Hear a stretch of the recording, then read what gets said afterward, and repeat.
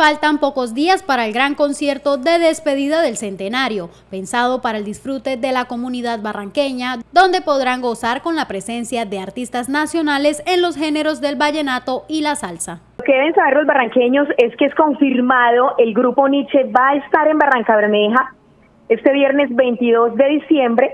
Además vamos a tener tres artistas nacionales, el grupo Nietzsche que viene estrenando Grammy, por supuesto.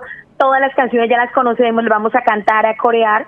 Además va a estar por la parte del vallenato Rafa Pérez, La Evolución, que la viene rompiendo con todos sus éxitos. Además que es un artista que ya nos ha visitado, ha hecho unas presentaciones impecables y sobre todo nos ha gustado y por eso vuelve a repetir Rafa Pérez.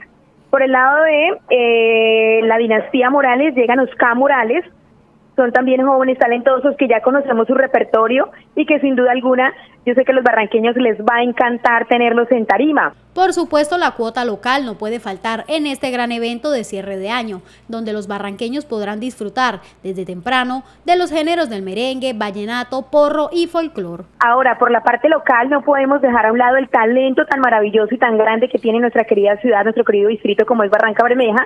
Estará, por supuesto, Kiara de la Osa con el folclor, estará eh, por la parte del merengue la banda, la, la orquesta Terranova, por la parte del porro estará la gran banda de Barranca Bermeja y el, en el vallenato nos representa Luisca Ravelo. Así que esa selecta lista está bien organizada para que nos vayamos preparando a partir de las 6 de la tarde, pero si usted puede llegar mucho antes, mejor para que se vaya acomodando. Este evento cuenta con entrada totalmente gratis para la comunidad que desee disfrutar de esta amplia nómina de artistas que sin duda los pondrán a bailar y a gozar.